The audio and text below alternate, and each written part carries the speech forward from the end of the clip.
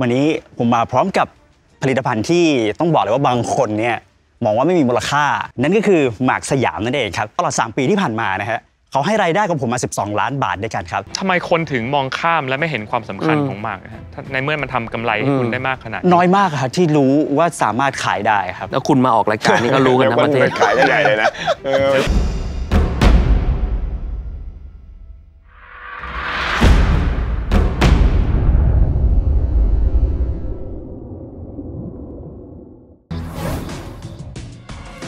สวัสดีค่ะชาร์สวัสดีครับค่ะดิฉันชื่อนางสาวที่ว่าพรศิรินะคะ ขอเรียกแทนตัวเองว่าแอมนะคะ วันนี้พาผลิตภัณฑ์น้ำพริกผลไม้มานำเสนอค่ะ จุดเริ่มต้นทำธุรกิจของเรานะคะ เกิดมาจากการที่ลำพูนค่ะ เป็นเมืองของลำไย ปัญหาคือเกษตรกรเนี่ยเขาไม่สามารถจำหน่ายวัตถุดิบในราคาที่เขาสมควรจะได้ เราจึงต้องการที่จะนำวัตถุดิบตัวเนี้ยมาแปรรูปให้มีคุณค่ามากยิ่งขึ้นค่ะ เราจึงเลือกที่จะทำน้ำพริกผลไม้ค่ะ น้ำพริกผลไม้ของเราเนี่ยตอบโจทย์กลุ่มผู้บริโภคที่เป็นวีแกนสินค้าของเราเนี่ยไม่มี สารกันบูด ไม่มีผงชูรส ไม่มีการแต่งสีแต่งกลิ่นค่ะ ปัจจุบันมีอยู่ 5 รสชาตินะคะ ประกอบไปด้วยลำไย ลิ้นจี่ แอปเปิลมะม่วง สับปะรดค่ะ แล้วก็ที่ชาร์กได้ทานเนี่ยจะเป็นน้ำพริกลิ้นจี่ค่ะอ่าปัจจุบันมีอยู่ 2 แพ็กเกจนะคะ ก็จะเป็นแบบซองอย่างที่เห็นอยู่ค่ะอ่าแบบซองเนี่ย 25 กรัม แล้วก็แบบขวด 80 กรัมค่ะ วันนี้มาขอเงินลงทุนจำนวน 5 ล้านบาทแลกกับหุ้น 10%ค่ะ คุณทิวาพรสิริแอมแซบน้ำพริกผลไม้ คือการนำผลไม้มาแปรรูปเป็นน้ำพริก เพื่อเพิ่มมูลค่า เลือกใช้ผลไม้พื้นถิ่นใกล้ตัว สร้างโอกาสให้กับธุรกิจ ข้อเสนอ 5 ล้านบาท แลกกับหุ้น 10%ทำงานอยู่ที่ไหนนะครับ อยู่ลำพูนค่ะ ผมมีโรงงานอยู่ลำพูนพอดีเลยทำโปรดักต์ P80 นะครับที่บอกเชิญลำไยลำไยเหมือนกันนะครับสารสกัดลำไย โรงงานเป็นของคุณเองป่ะครับ ใช่ค่ะทำไมถึงต้องใช้โรงงานของคุณเองอะครับ ต้องบอกว่าเริ่มต้นเนี่ยเป็นธุรกิจของครอบครัวตอนนี้สเกลยังเล็กอยู่เพราะว่าเป็นธุรกิจของครอบครัว เราเริ่มต้นจากธุรกิจสเกลเล็ก ๆ ตอนเนี้ยเรากำลังต้องการที่จะเติบโตอย่างก้าวกระโดด ยอดขายอยู่เดือนละเท่าไหร่ครับ ยอดขายตอนนี้ยังไม่เยอะค่ะ เราเพิ่งเริ่มทำได้ประมาณไม่ถึงปี แล้วก็คุณกล้ามาผมขอไม่เงินผมขไม่ได้นาดนี้ไม่ได้ได้ไงไม่ได้ถามฉันว่าไม่ทำมาเข้ใจกี่ปีถามว่ายอดขายเท่าไหร่ ก็ประมาณยังอยู่หลักแสนอยู่ค่ะทำมาเอาหเอานึ่งปีเอาตรงๆเลยดีกว่าเท่าไหร่เออเท่าไหร่แสนมันเท่าไหร่น้อยฮะอย่าต่างกันมากนะแสนหนึ่งกับเก้าแสนเนี่ยเอ่อประมาณ 3 ค่ะสามแสนบาทแสนบาททำมาไม่ถึงทั้งหมดใช่ไหมครับไม่ใช่ต่อเดือน หรือว่าต่อเดือนไม่ต่อเดือนค่ะต่อเดือน3ามแสนบาทเองบาทใครเป็นแสน advisor ที่บอกให้คุณเข้ามาขอขนาดนี้อะ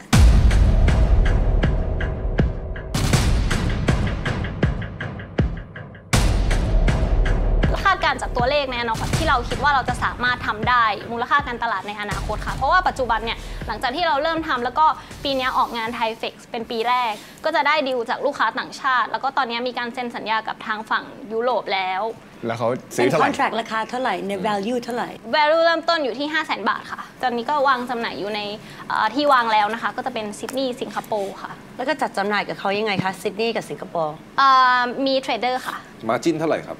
เป็นเปอร์เซ็นต์ได้ไหมคะ ใช่ได้ใช่สิคใช่รับ margin อยู่ที่80มากกว่านั้น 80เปอร์เซ็นต์80เปอร์เซ็นต์ค่ะ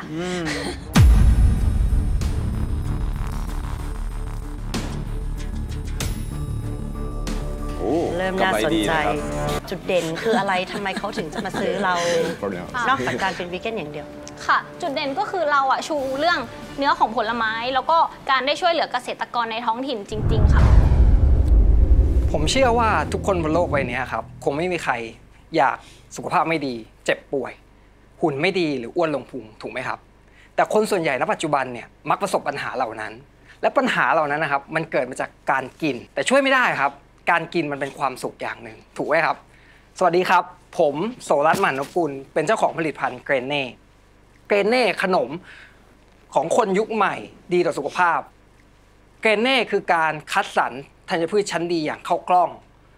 หอมมะลินะครับของไทยเราเนี่ยแหละข้าวกล้องที่คนไทยดูถูกมาเรียกมันว่าข้าวของคนจน แต่ต่างชาติเรียกมันว่าซูเปอร์ฟู้ด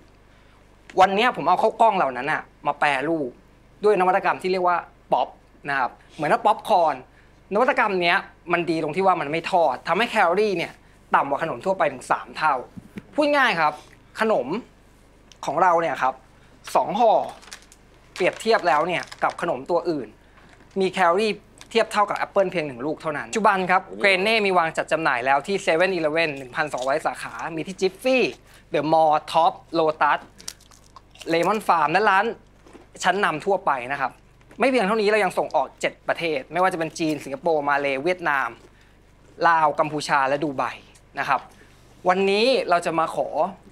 ยื่นข้อเสนอกับ shark ด้วยการขอเงินทุน 5 ล้านบาทแลกกับ 10% ข้อเสนอ 5 ล้านบาท แลกกับหุ้น 10%ผมชอบนะ ผมกำลังลดน้ำหนักอยู่พอดีเลยเนี่ย ไอหนึ่งกระปุกนี่กี่แคลครับ ตัวนี้เป็นตัวใหม่จะเบสอยู่ไม่เกิน 150 ครับ ก็ยังต่ำกว่าขนมกินทั่วเพไปลินเลยเออไม่หยุดเลยห้ามกินทีละกระปุกร้อยห้าสิบเลยตอนนั้นขายตอนนี้ยอดขายเป็นไงครับอันนี้ถ้าเป็นตัวเกรนเน่เองอย่างเดียวนะครับ 6 ล้านปีที่แล้ว หกล้านทั้งปีคือยอดขายหกล้านปีที่แล้วเฉพาะเกรนเน่ครับ กำไรเท่าไหร่ครับ กำไรมีตั้งแต่ 12ถึง30%ไม่นับพวกจ็อบใหญ่ปีแล้วรายได้เท่าไหร่กำไรเท่าไหร่ ๆ มันอ่าหลัก 10 ล้านครับ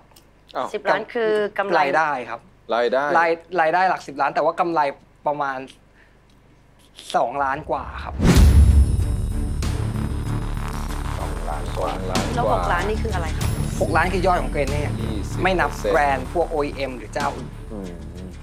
แล้วแล้วที่จะขายนี่คือขายทั้งหมด ทั้งบริษัทบางบริษัทครับภายก็คือแต่ว่าเราเราแค่เพียงบอกว่าเรามีแบรนด์อื่นด้วย เรามีวิธีการขายในรูปแบบอื่นอืมแล้วกำก็ไรมีการสองโคแบรล้านนด์ PE สิบเท่าก็ยี่สิบล้านอืมเมื่อกี้คุณจะตังค์เท่าไหร่นะลืมอันนี้เขาห้าสิบ50ล้านใช่ไหมเขาเขาเขา50ตีมูลค่าห้าสิบล้านครับคุณจะเอาตังค์ไปทำอะไรครับขอถามเออลืมถามคำถามนี้ คือกินเพลินครับ คือผมต้องการเนี่ยอร่คอยดีนะอย่างแรกเลยก็คือไปเพิ่มอ่าการทำอ่า marketing ให้มัน mass ขึ้นอืมแล้วก็เพิ่มช่องทางจัดจำหน่าย ก็คือไปดีลกับทางอ่าพวก modern trade ต่างๆ ว่าเราต้องการวางให้มากกว่าเดิม จากพันสองอย่างที่บอกวันนี้คุณมีโรงงานหรือยังครับ ของเราเป็นโรงงานเองเลยครับโรงงานคืนทุนหมดแล้วไม่มีหนี้สิบล้านห้าสิบเปอร์เซ็นต์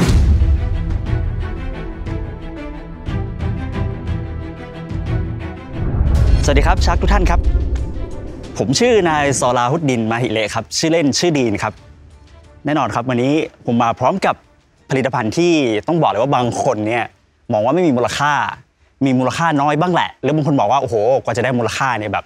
ไปทำอย่างอื่นดีกว่าครับ แต่ผมคนหนึ่งที่ไม่เคยมองข้ามเลยครับ นั่นก็คือหมากสยามนั่นเองครับ แน่นอนครับหมากสยามครับต้องบอกเลยว่าเป็นผลิตภัณฑ์ที่มหัศจรรย์มากๆเลยนะฮะเนื่องจากว่าผมไม่เคยมองข้ามเลยฮะตลอด 3 ปีที่ผ่านมานะฮะเขาให้รายได้กับผมมา 12 ล้านบาทด้วยกันครับ เฉพาะต้นปีที่ผ่านมานะฮะจนถึงวันนี้ ผมได้ 4 ล้านบาทด้วยกันครับ และแน่นอนครับหมากสยามนะครับ ทุกๆเช้านะครับจะมีชาวบ้านนะครับ ตื่นขึ้นมากว่า 100 ครอบครัว แปลสภาพจากกลมๆแบบนี้ ตัดมาเป็นแบบนี้ แล้วก็แบบทรงยาวด้วย รวมถึงนะครับแบบเสี้ยวพระจันทร์นะครับ และสินค้าของเรานะฮะขายไปที่ซาอุดิอาระเบียเป็นหลักครับ แล้วก็แน่นอนนะครับ ตอนนี้กำลังมียอดสั่งซื้อจากอินเดียไต้หวัน แล้วก็มีอีกหลายประเทศด้วยกันฮะแล้ววันนี้ผมมาพร้อมกับ ข้อเสนอนะครับ 3 ล้านบาทพร้อมกับ 15%ครับ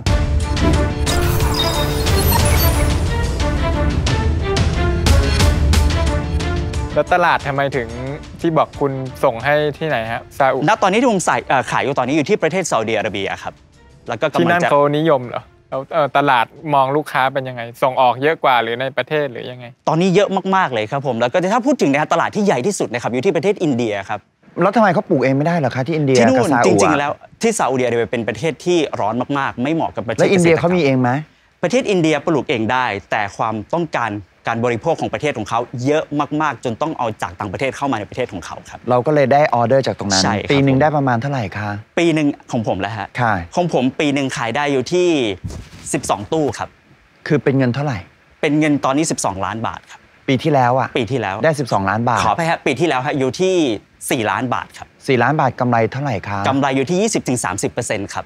เงินเหลือไหมคะบริษัทตอนนี้ เงินเหลือฮะคือตอนนี้ผมเอากำไรที่ผมได้มาลงทุนขยายบ้างตามที่เราสามารถครับ ซื้อเครื่องจักรบ้างนะครับ แล้วก็ซื้อที่มันเกี่ยวข้องกับการที่จะต้องทำงานบ้างนะครับ แล้วถ้าคุณได้เงินลงทุนไป คุณคิดว่ายอดขายจากปีละ 4 ล้านจะได้เป็นเท่าไหร่อะครับ จากปีปีละ 4 ล้านใช่ไหมครับ จะได้เป็นเท่าไหร่หลังจากได้ปีที่แล้วงทุ4ล้านตอนนี้ล่าสุดเลยครับเขาต้องการเดือนละ 4 ล้านเลยครับรายได้จะมีเดือนละ 4 ล้านครับแต่ผมไม่สามารถที่จะผลิตได้เยอะขนาดนั้นครับแล้วได้เงินลงทุนนี่จะทำได้เดือนละ 4 ล้านเลยไหมครับ ใช่ครับ ก็จะได้มากกว่าปี4นี้ 40 ล้านเลยเหรอ ใช่ครับ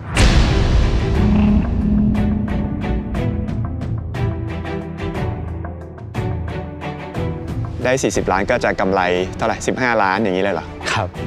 เอาไป เอาเอาเงินไปทำอะไรไม่ได้ทำเครื่องจักรใช่ไหมครับเอาไปซื้อของ เอาซื้อเครื่องจักรครับผมแล้วคนได้ร้อยคนชีวิตที่คุณบอกอยากจะช่วยทำยังไงฮะเขาต้องไปเอาจากต้นไม้แล้วก็ต้องมาผ่าต้องมาตั้งตากแดดอะครับยังไงเราก็ต้องพึ่งคนอยู่ดีต้องใช้ชาวบ้านอยู่ดีครับต้องใช้ 100 กว่าครอบครัวและเพิ่มขึ้นทุกวันทุกวันครับ ทำไมคนถึงมองข้ามและไม่เห็นความสำคัญอืมของหมากนะฮะถ้าในเมื่อมันทำกำไรให้คุณได้มากขนาดน้อยมากครับที่รู้ว่าสามารถขายได้ครับ น้อยมากๆจริง ๆ เลยครับผมแล้วคุณมาออกรายการนี่ก็รู้กันทั้งประเทศขายได้ใหญ่เลยนะเออขายได้ใหญ่เต็มเลยเนี่ยก็สามารถมาขายให้ผมได้ครับเพราะผมต้องการปริมาณเยอะมากๆ นี่เป็นครั้งแรกในชีวิตที่รู้ว่ามันเป็นธุรกิจนะอันนี้เป็นคำตอบที่ผมเจอมาเยอะมากเลยโอ้ครับแล้วส่งออกได้ด้วยนะ ใช่ครับ แล้วมีความต้องการแบบต่อเนื่องด้วยนะ ครับผมคิดว่าเขาเลิกเคี้ยวหมากกันไปแล้วด้วย จริงๆอะโอ้สวัสดีค่ะวรดาพรหมสุขนะคะมะเฟืองมหัศจรรย์จากกลุ่มเกษตรกรทำสวนยางและผลิตภัณฑ์ยางตาชีอำเภอยะหาจังหวัดยะลา เป้าหมายในการที่เราตั้งกลุ่มเกษตรกรขึ้นมา เพื่อช่วยเหลือคนในชุมชน ให้มีรายได้เพิ่มขึ้น ไม่ต้องการให้คนในชุมชนออกนอกพื้นที่ เพราะโดยจังหวจังหวัดยะลาเป็นพื้นที่สีแดง ที่ทุกคนไม่อยากไปเยี่ยมชมอยู่แล้วนะคะ สำหรับกลุ่มเกษตรกรนี้ก็คือซื้อวัตถุดิบน้ำยางสด แล้วก็มาแปรรูปเป็นยางลมฟัน แล้วก็แปรรูปเป็นผลิตภัณฑ์ ตัวอย่างเช่นก็คือมะเฟืองมหัศจรรย์ตัวนี้นะคะมะเฟืองมหัศจรรย์ตัวนี้ก็คือ เพิ่มแรงขยี้เวลาซักผ้าทำให้ผ้าสะอาดขึ้นกว่าเดิม ไร้กลิ่นตกอับสีกลิ่น ไม่มีผลกระทบกับเสื้อผ้า เพราะว่าสูตรยางนี้เราได้อาจารย์ที่ปรึกษามาจากมหาวิทยาลัยมหาวิทยาลัยสงขลานครินทร์วิทยาเขตปัตตานี คณะวิทยาศาสตร์และโพลิเมอร์ยางในเรื่องสูตร ในเรื่องการทดสอบเพื่อเพื่อให้ผลิตภัณฑ์ตัวนี้ออกมาสู่ชุมชนนะคะ วันนี้ที่มาเอ่อออกรายการชัดแทงนี่คือต้องการช่วยเรื่องการตลาดนะคะ เพราะจุดด้อยของเกษตรกรเนี่ยจะไม่รู้เรื่องการตลาดเลย เป้าหมายอยู่ตรงเนี้ยค่ะ ครับ ไม่ได้ต้องการมีเป็นตัวเลขตัวเงินไหมตัวเลขตัวเลขป็นไงรัก็บคือขอ1ล้านบาท5%ค่ะหนึ่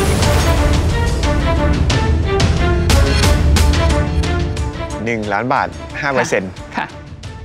เพราะปกติแล้วก็คือเอ่อสินทรัพย์นี้มีประมาณ 70 กว่าล้านก็ขอได้ 2 ล้านกว่า แต่เราต้องการแค่การตลาดแค่นั้นเองค่ะอ๋อครับผมครับผมอ๋อมี 40 กว่าล้านเป็นทุนอยู่แล้ว สินทรัพย์ 76 ล้านค่ะ คืออะไรอะค่ะมะมะเฟืองมหัศจรรย์ตัวนี้ก็คือเวลาเราซักผ้าก็โยนใส่ในเครื่องซักผ้าเลย เพราะว่าลูกยางนี้จะหมุนไปตามรอบถังของอ๋อซักผ้าโดยอัตโนมัติ คือเอ่อหมุนไปแบบไร้ทิศทางค่ะเพิ่มแรงขยี้ลดภาวะการพันของผ้าในถังซัก ปกติเวลาฝาบนเราซักผ้าผ้าจะพันกันเป็นก้อน แต่ถ้าใส่ตัวนี้เข้าไปแล้วมันจะช่วยได้ดึงออกได้ง่ายกว่าที่เราไม่ใส่ แล้วแล้วเมื่อกี้บอกมีทุนอยู่แล้ว 76 ล้าน สินทรัพย์ทั้งหมดค่ะสินทรัพย์ทั้งหมดเพราะว่าปกติกลุ่มเกษตรกรนี้เขาจะได้หน่วยงานภาครัฐมาพวกเครื่องจักรอะไรอย่างเงี้ยมาช่วยแต่เขาไม่ได้เข้ามาช่วยในเรื่องการตลาดแล้วแล้วหน้าที่ของคุณคุณพี่คือ รหวน้าบที่รวมเกษตรกรรมเกษตรกรมาอย่างเงี้ยครับใช่ค่ะ คือการตั้งกลุ่มนี้เรารวบรวมคนในหมู่บ้าน เพื่อระดมเงินทุนให้มาลงหุ้น เพื่อจะให้เกิดกลุ่ม ก็ตอนนี้ปัจจุบันนี้ก็มีสมาชิกทั้งหมด 135 คนที่เราต้องช่วยเหลือ แล้วเอ่อสมาชิกทั้งหมดนี้กรีดยางเสร็จ ก็เอาน้ำยางมาส่งที่กลุ่มแล้วปีที่แล้วคือขายได้ยอดขายทั้งหมดเท่าไหร่3 0 0แสนค่ะสามแสนทั้งปีแล้ว ใช่ค่ะ เพราะว่าออกบูธปีหนึ่งก็แล้วไม่กำกี่ไรคเหลืรั้องเท่าไหร่คะ กำไรนี้ก็ต้นทุนอยู่ที่ลูกละ 23 บาทค่ะ จึงเหลือเงินประมาณเท่าไหร่อะ ก็ไม่กี่หมื่นเนาะ ใช่ค่ะ พอที่จะ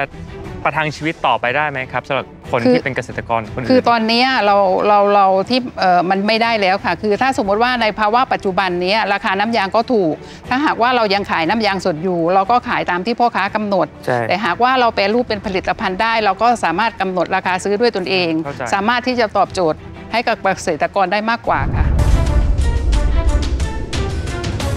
สวัสดีครับ สวัสดีครับ สวัสดีครับ ผมแม็กครับ จบจากวิศวกรรมหุ่นยนต์และระบบอัตโนมัติครับ สวัสดีครับ ผมต๋องครับ จบทางด้านบริหารการตลาดครับ ตอนนี้เป็นเจ้าของโรงงานกล่องกระดาษลูกฟูกครับผม ครับ ต้องเกริ่นกันเลยนะครับว่าในอดีตเนี่ยผมเป็นคนชอบเกี่ยวกับเครื่องบินบังคับ การบินแล้วก็หุ่นยนต์ ซึ่งผมได้แข่งขันในรายการต่างๆ จนได้เรียนในสายของหุ่นยนต์ และก็เป็นจุดเริ่มต้นที่เราสร้างโนวิโดรนขึ้นมาครับ ใช่ครับผมโนวิโดรนคือโดรนการเกษตรครับผม สิ่งที่เราจะทำคืออะไร ทุกท่านทราบไหมครับว่าตอนนี้เกษตรกรรมเมืองไทยเนี่ยมีปัญหาเหมือนกับอุตสาหกรรมครับ สิ่งที่เกิดก็คือไม่มีแรงงานเช่นกันครับผม ตัวนี้จะไปตอบโจทย์ทางด้านเกษตรกรรม เราจะไปช่วยให้เกษตรกรเนี่ยประหยัดทั้งเวลาและประหยัดทั้งปุ๋ยครับผมซึ่งเรามี2 solution ด้วยกันครับ เราทำทั้งด้านฮาร์ดแวร์แล้วก็ซอฟต์แวร์ครับใช่ครับ ซึ่งฮาร์ดแวร์เนี่ยเราพัฒนาโครงสร้างขึ้นมาเอง แล้วก็เป็นวัสดุที่เกิดขึ้นในประเทศไทย 100%ส่วนซอฟต์แวร์เนี่ยครับเรามีซอฟต์แวร์ในการ ประมวลผลความอุดมสมบูรณ์ของไร่คุณ เพื่อที่จะวางแผนในการพ่นปุ๋ยต่างๆ ก็เป็นการลด cost ในระดับหนึ่งเราได้ไปทดลองเกี่ยวกับต้นมะพร้าวเพราะ pain หลักๆของต้นมะพร้าวคือเรื่องของความสูงครับ และในความสูงนั้นมันมีศัตรูพืชอาศัยอยู่ ซึ่งมันนำให้กัดกินยอดต้นมะพร้าวเนี่ยครับยืนต้นตาย ชาวเกษตรกรต้องตัดต้นไม้ แล้วก็ปลูกใหม่ใช้เวลาถึง 5 ปีครับ budget ที่เขาเสียไปใน 5 ปีเนี่ยเขาเสียเป็นกี่หมื่นกี่กี่แสนต่อต้นครับลองแพงคำนวณมากดีครับผมใช่ใช่ครับผมและตอนนี้เนี่ยที่เราทำนะครับได้รีเสิร์ชกลับมาแล้วเนี่ย ทดลองมาว่าปุ๋ยที่ใช้ร้อยเปอร์เซ็นต์เนี่ยหลังจากที่ใช้ตัวเนี้ยลดลงถึง 70%ครับใช้แค่ 30%เท่านั้นครับผม และมีผลทำให้คนนะครับประสิทธิภาพมากกว่าคนถึง 10 เท่าครับ เครื่องตัวนี้ครับ เพราะว่าในไร่หนึ่งนะครับมันใช้เวลาปฏิบัติการแค่ 3 นาทีในการพ่นเองครับใช่ครับผมและได้ประสิทธิภาพที่มากกว่าอีกครับผม วันนี้จริง ๆ แล้วหลังจากที่เราได้ทำจากไร่มะพร้าวแล้ว เราจะขยายผลไปยังพืชเศรษฐกิจทุกชนิดในประเทศไทยครับซึ่งมะพร้าวเป็นโจทย์ที่ยากที่สุดแล้วครับผม วันนี้สิ่งที่เราจะทำเราอยากจะหา นักลงทุนที่ใช่ครับผม เราอยากจะได้เงินลงทุนที่ 14.5 ล้าน กับหุ้นที่ 10 เซนต์ครับ ข้อเสนอ 14.5 ล้านบาท แลกกับหุ้นส่วน 10%ตอนนี้ทำเอ่อโปรเจกต์นี้ขึ้นมาเนี่ยมีรายได้กำไรยังไง แล้วทำมาแล้วกี่ปีครับ ตอนนี้คือการเริ่มต้นครับ เรามีการเทสและมีการขายไปบ้างเพื่อทดลองตลาดครับ เพราะว่าจริงๆแล้วเราจะขายจริงหลังจากนี้ครับ อันนี้ business model เป็นเรา operate ป่ะครับ หรือว่าเกษตรกรต้องซื้อตัวนี้ไปไปทำเอง เออเราให้เกษตรกรซื้อขายครับ ก็คือขายเครื่องนี้ไปแหละเครื่องหนึ่งรายูนิคาตเท่าไหร่เองใช่ เราจะทำให้ราคาเท่ากับมอเตอร์ไซค์หนึ่งคันครับ ซึ่งในปัจจุบันสี่หมื่นแล้วแต่ของราคาระดับคือมอไซค์คือมันมอไซค์มีตั้งแต่สามใช่หครับมื่นผมสองหมื่นแต่จนถึงจริงๆสองเรยกล้านให้สามล้านอยู่ที่หมื่นปลายๆถึงแสนต้นๆไม่ให้เลยจากนี้ จริงๆแล้วอยากจะทำให้ราคา เกื้อมถึงได้ครับ เพราะว่าในปัจจุบันโดรนที่ใช้งานได้จริงครับ ในสเปคเดียวกันราคาอยู่ที่2 0 0 0 0 0กว่าบาทเราเราเรามีความมั่นใจยังไงว่าอันเนี้ยมันแตกต่างกับคนอื่นก็ทำไม่ได้มีอะไร เยอะมากเลยครับ อะไรบ้างอะจริง ๆ แล้วอย่างแรกเรื่องของราคาละ แล้วก็โดรนตอนนี้ในประเทศไทยแทบจะทั้งหมดเนี่ยเราไม่พูดถึงโดรนระดับล่างที่ใช้งานได้บ้างไม่ได้บ้างนะครับโดรนที่ใช้งานได้จริงเนี่ยมันมีแค่ไม่กี่รายจริง ๆ และที่เข้ามาในประเทศไทยทั้งหมดเนี่ยเป็นการนำเข้าชิ้นส่วนเกือบทั้งหมด ของเราจะทำในประเทศไทยร้อยเปอร์เซ็นต์ครับ เพราะฉะนั้นเนี่ยเราจะสร้างแม้กระทั่งศูนย์ service เราจะสร้างแม้กระทั่งการ training ทุกอย่างมีครบครับรายอื่นเขาทำไม่เหมือนเราได้เพราะอะไร การพัฒนาครับ แล้วก็รูปร่างนี้เป็นแค่ prototype ระดับแรก หลังจากนี้ไปเราจะมีอะไรที่มันมากกว่านี้เยอะครับ ก็คือซอฟต์แวร์ถูกไหมฮะใช่ครับ อยู่ที่ตัวซอฟต์แวร์ใช่ครับแล้วก็มีการพัฒนาฮาร์ดแวร์ที่เป็นมันจริงเกซลัอกฟต์แวร์กับฮาร์ดแวร์ด้วยถูกต้องใช่ครับต้นทุนต้นทุนของโดรนตอนนี้อย่างเช่นลำเนี้ยครับเท่าไหร่ครับ บอกได้ไหมบอกจะลงทุนได้ยังไงครับ จริงๆแล้วต้นทุนมันต่ำกว่า 50%ของราคาที่เราจะขายอยู่แล้วครับ แล้วเรากำลังจะกดราคาลงไปมากกว่านั้น คืออะไรทุกชิ้นส่วนเนี่ยสามารถหาได้ในประเทศไทยทั้งหมดต้องครับหลังจากนี้ เพราะว่าเราจะฉีดเราทำโมเองทุกอย่างเองหมด แล้วเทียบกับราคาจากเมืองจีนนะครับ จีนสู้ไม่ได้ครับณเวลานี้ก็ยังสู้ไม่ได้เลยเพราะเราเปรียบเทียบมาหลายรอบแล้วครับแล้วมี part หลาย ๆ ตัวที่มันเป็นความลับที่เขายังขายราคาแพงอยู่ เราสามารถผลิตตัวนั้นได้ในประเทศเรียบร้อยแล้วจ ดลิขสิทธิ์ไหมฮะจบครับจบเหมือนผมมีบริษัททำปุ๋ยอยู่อะครับ ก็มีความสนใจแล้วเงิน 14.5 ล้านไปทำอะไรบ้างอะศูนย์บริการครับกับการผลิต เพราะเราต้องมีลงมันฟิกมันคอร์พอเยอะพพออสมควรในการอเริ่ธิมบายหน่อยได้ไหมว่าเท่าไหร่ทำศูนย์บริการเท่าไหร่ทำผลิจตริง ๆ แล้วตอนนี้ศูนย์บริการที่เล็งเอาไว้เรามีคุยเรียบร้อยแล้ว เริ่มต้นอาจจะมีอยู่แค่ประมาณสัก 6 จังหวัดครับ ก็ครอบคลุมแต่ละภาค ถ้าเป็นไม่ได้จริงเนี่ยต่อไปอย่างที่เราบอกเราอยากให้เกษตรกรเข้าถึงจริงเนี่ยมันต้องมีทุกภาคไม่มันมีทุกจังหวัดเผื่อๆว่าเราจะลงถึงทุกอำเภอครับ วันนี้มีโรงงานผลิตโดรนตัวนี้เลยงในประเทศไทยไม่มีครับ แล้วทำไมคุณไม่เอาเงินที่คุณเพิ่มทุนเนี่ยมาผลิตโรงงานเพื่อจะขายโดรนได้ แล้วก็ราคาต้นทุนของโดรนแบบคุณต่ำลงด้วย มาจินก็เพิ่มขึ้นตอนนี้เรากำลังจะผลิตในไทยครับ แต่เรายังจ้างเป็น OEM อยู่จนกระทั่งว่าถ้าเรามีตังค์ระดับหนึ่งแล้ว เราค่อยไปตั้งโรงงานครับผมต้องการกระตังเท่าไหร่สมัครสร้างโรงงาน โอ้จริง ๆ ยังไม่ทำฟีสของเรื่องโรงงานออกมาแต่คิดว่าน่าจะเยอะอยู่ครับโรงงานผมคิดว่ามันคงต้องมีวอลลุ่มการขายพอสมควรนะถึงจะไปคิดถึงโรงงาน ตอนนี้เราจ้างหัวเย็นน่าจะดีที่สุด คือผมชอบไอเดียในการที่เอาเอาเทคโนโลยีเข้ามาช่วยการทำงานให้มีประสิทธิภาพมากขึ้น แต่ช่วยช่วยคอนวินส์ผมหน่อยว่าทำไมมันถึง 145 ล้านอือหฮึรือมันสามารถลดได้ไหมหรือว่า ผมก็ชอบนะแต่ราคามันแต่ราคามันมันค่อนข้างที่จะยากยังยังเอาออกยังคือมันตอบโจทไปหน่ย์อยกับผมเหมือนกันในสิ่งที่มากกว่าทำขึ้นมา300หนึ่งเหรียญสนามกอล์ฟได้ บริษัททำปุ๋ยทำได้ ผมไปออฟเฟอร์คนในเทคโนโลยีใหม่ ๆ ได้ แต่ว่าช่วยช่วยบอกว่าทำไมมันถึง 145 ล้าน เอาจริง ๆ แล้วเราคิดว่าครับ เพราะเราเตรียมไว้แม้กระทั่งทีมขายแล้ว มันถึงเป็นความมั่นใจที่ว่าเราคิดว่า 2 ปีเนี่ยเราน่าจะคืนทุนได้ อย่างที่ผมบอกเนี่ย pilot test ของเราเนี่ยทำแค่ไม่กี่จังหวัดเอง แล้วเราจะเริ่มต้นในลักษณะแบบนี้ ซึ่งทีมงานเราเนี่ยเตรียมพร้อมแม้กระทั่งเรื่องของการเทรนนิ่งเตรียมพร้อมแม้กระทั่งเรื่องของการ certification ทุกอย่างมันครบหมดแล้วผมเลยค่อนข้างมั่นใจครับว่าจริงๆแล้วสองปีเนี่ยเราคืนทุนได้แน่นอนครับ คืน 145 ล้านนะครับ คนอื่นที่ อะไรนะครับ